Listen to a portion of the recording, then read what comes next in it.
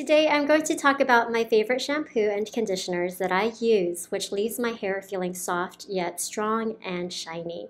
It's the OGX shampoo and conditioner set that I got on Amazon, and you can find the link in the description box below so you can get it too.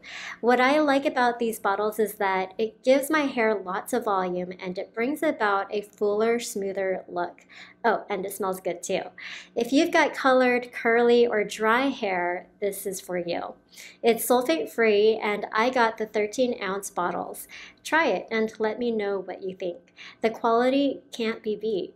If you like more of these videos, be sure to subscribe, like, and hit the notification button so it'll motivate me to make more videos like these. Thanks for watching.